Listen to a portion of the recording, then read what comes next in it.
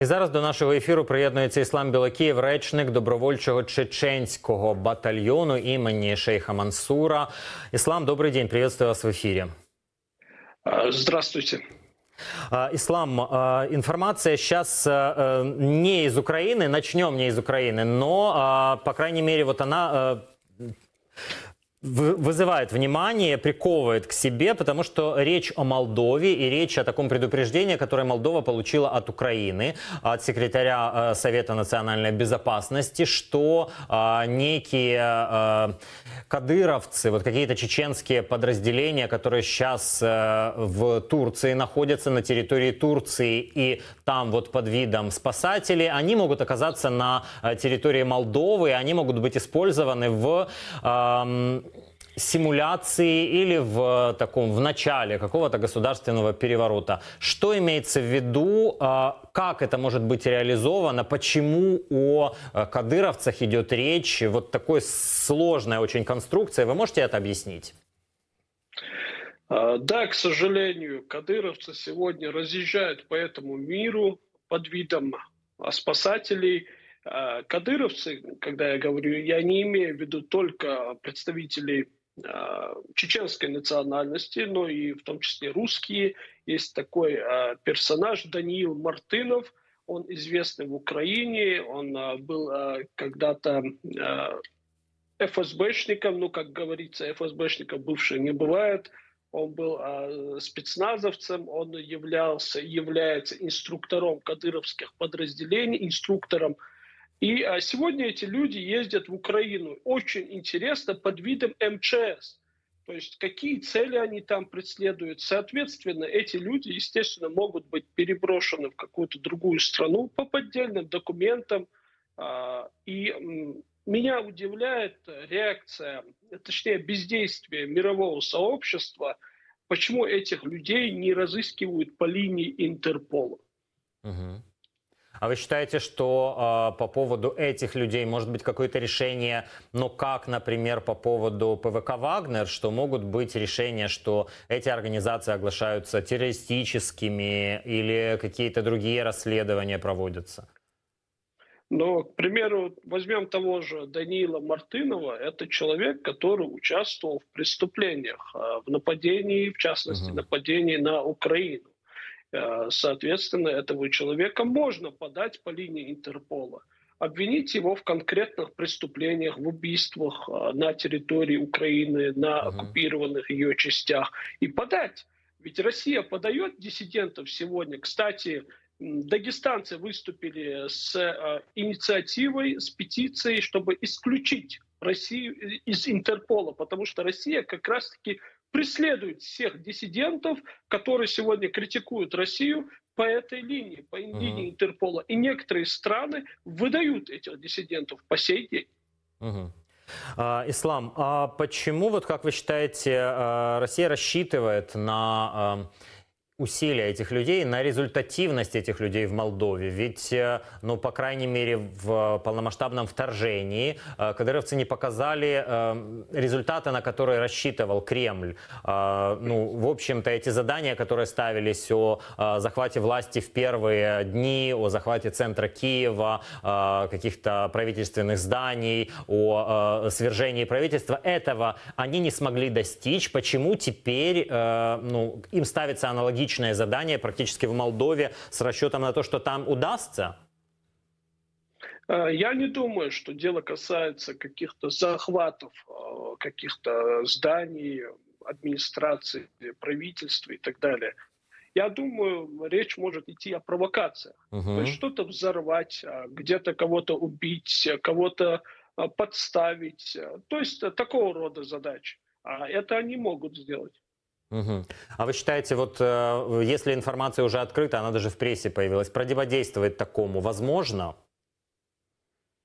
А, ну да, то, что сейчас об этом говорят, это уже является хорошим а, таким шагом.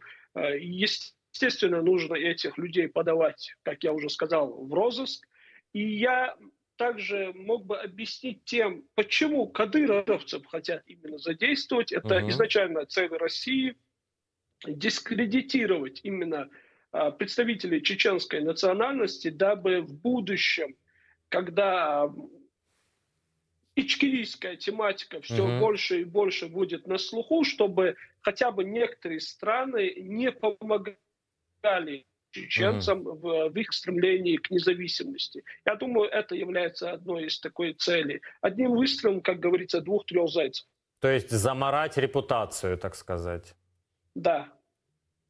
Ислам, как но... они это пытались сделать в Украине. Угу. К сожалению, э, тут, э, наверное, сложно представить, что кто-то э, больше усилия, чем Рамзан Кадыров, может приложить именно к этому, а, для того, чтобы репутация стала, ну, минимум двузначной такой.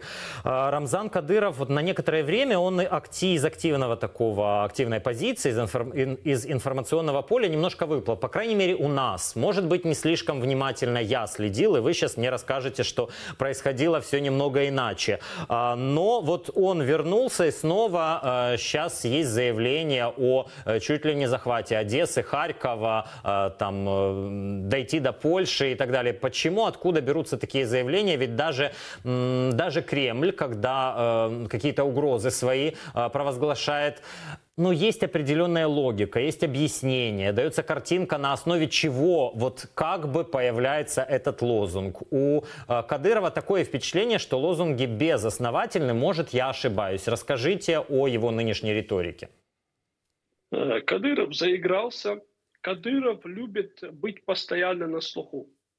Э, если за, понаблюдать за действиями его окружения, они часто выкладывают у себя посты о количестве упоминания Рамзана Кадырова в российских э, масс-медиах. Uh-huh. Это говорит о том, что Кадырову это очень приятно, когда а, его упоминают, когда о нем говорят, когда люди спорят, когда кто-то реагирует на его высказывания, в особенности западное сообщество. Э, соответственно, он делает постоянно громогласные заявления, чтобы быть э, на слуху. Угу. Это единственное объяснение. Но как э, касаемо каких-то конкретных действий, я думаю, Кадыров уже давно устал от этого, и он потихоньку возвращается в обычный ритм своей привычной ему жизни. То есть он уже особо не хочет воевать, как угу. он раньше вот этих тиктокеров – высылал. Заметьте, тиктокеров тоже практически уже нет. А, им, он просто говорит что громкие, делает заявления, чтобы о нем говорили. А так угу. он уже занимается привычными ему делами. Ислам, а в общем-то кадыровцы сейчас э, на фронте, э, вот э, а, они есть фактически, о них меньше заявлений, меньше информации, э, меньше, э, ну таких каких-то, меньше вспоминают о них, э, больше информации о том, что Росгвардии или кадровых военных э, как бы появляется на том же Донбассе, а не кадыровцев. Э, в чем причина? Действительно их выводят, что-то меняется? Я думаю, здесь две причины. А, первая причина, что их потихоньку оттуда выдавливают, потому что российскому военному руководству, местным а, военным а, не нравится, что кадыровцы приходят, ничего не делают, забирают у них боевые какие-то победы, присваивают их себе, ведут себя крайне не, некорректно, недопустимо, где-то распускают руки – я думаю, они их выдавливают. Это первая причина. Uh-huh. Вторая причина это то, что я сказал. Рамзан Кадыров устал от всего этого. Он видит, что это уже особо никому не интересно. Его армия дискредитирована.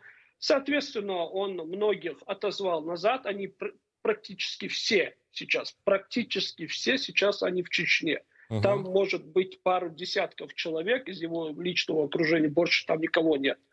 И он просто занимается информационной войной uh-huh. в своем телеграме. И все.